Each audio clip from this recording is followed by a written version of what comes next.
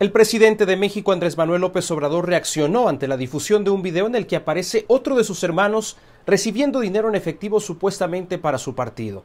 En las imágenes aparece Martín López Obrador recibiendo 150 mil pesos, equivalentes a 10 mil dólares, en el 2015 de la mano de David León, el mismo funcionario que le dio dinero a su otro hermano, a Pío López Obrador. Vamos a escuchar lo que dijo el presidente en la mañanera. Creo que eh, la intención pues es eh, perjudicarme o tratar de perjudicarme. Es eh, la campaña negra de siempre, según la información sobre este nuevo video, pues fue un trato personal entre David León y mi hermano. También decir que si hay algún delito de mi hermano, de quien sea, yo no encubro a nadie.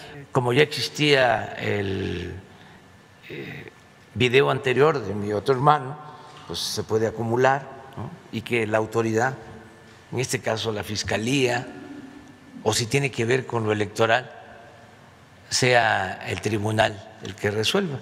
Lórez de Mola, pues, debe estar ahora hasta preocupado porque se detuvo al señor Cárdenas, Palomino, que aparece este, en uno de los montajes que hizo Televisa con Rey de Mola, incluso golpeando a